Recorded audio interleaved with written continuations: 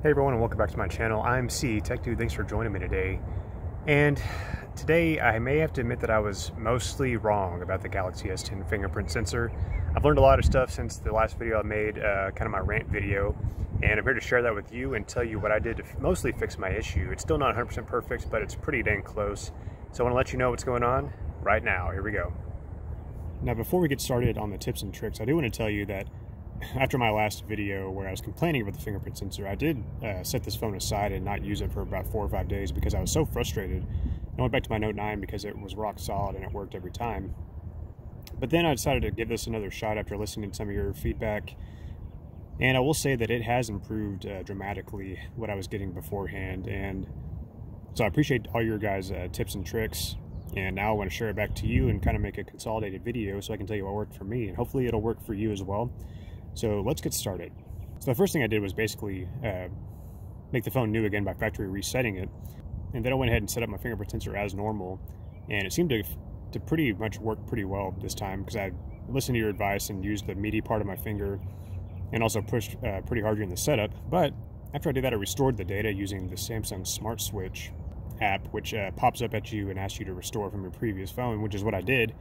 But after I did that, it really messed up my fingerprint sensor. Um, again, I think that may have been my problem the last time when I was having so many issues, but it only worked like one in 10 or 15 times. And so what I did, I went back to the biometrics and security setting.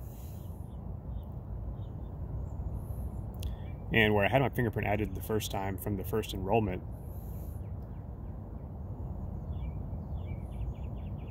I deleted that fingerprint by clicking on the fingerprint and clicking remove and then saying remove, confirming it there.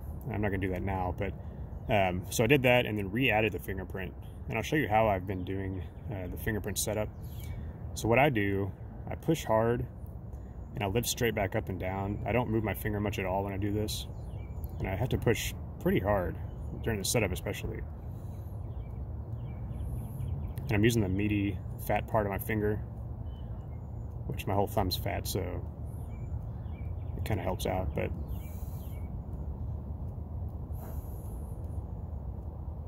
and then when it gets to this step, what I do, and you may not have to do this, I rotate my finger down to like a 180 degree angle and do the same thing, just lift straight up and down.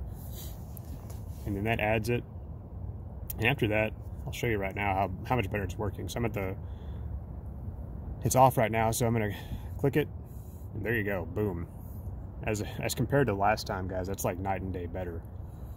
I'll show you one more time. So boom there it is. Perfect almost. And so what i'm doing now i'm just pressing with the fat part of my thumb and there you go. I'm not last time i was hitting it pretty hard and pushing down really hard. I'm not doing it that uh, as much. I'm just making sure i press pretty firmly on there. And there you go. It's uh, like i said before night and day it's night and day better guys.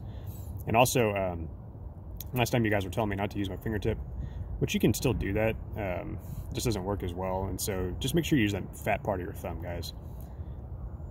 So that's that's the first thing I did was I re-enrolled my fingerprint, and that made a huge difference. But then what I also did, as you probably saw a second ago, back in the biometrics um, security, I, I added my fingerprint again, and this time, last time I did it um, kind of at a 90 degree angle. This time I did it at a like 135. I kind of tilted my finger a little bit like you would uh, like this and did the same thing. I pushed real hard and lifted straight up and down and did it like this this time. That way if I'm holding it at a different angle, it still works. And I will say that worked uh, pretty well. That worked, that combined with the, um, the initial fingerprint actually seemed to have fixed my issue. Uh, I still occasionally get the uh, press again or press harder prompt, but not nearly as much. And um, I think it may have just been, maybe I just didn't know how to use it. Maybe you guys were right, but um, before it really, honestly, I, I tried a lot of different things and it didn't work. And it may have been because I did restore my data. That may not be true, but that's how I feel. So let me show you a couple more things that I did to help fix my issue. And this one may not be needed, but I'm just gonna let you know what worked for me. So what I did, I went into settings again, and then went to advanced features and then motions and gestures. And I turned off lift to wake and double tap to wake. And one of the reasons I did this is because I already have the always on display on all the time. which will show you how to do that. Um, so search for always on display and then click the first option that comes up. And then I turn mine to always show on. Uh, you don't have to do that, but like I said, I, did, I disabled lift to wake and the double tap to wake. Um, that may not be related to, to how my phone's working now, but I will say that it works. Let me show you one more time.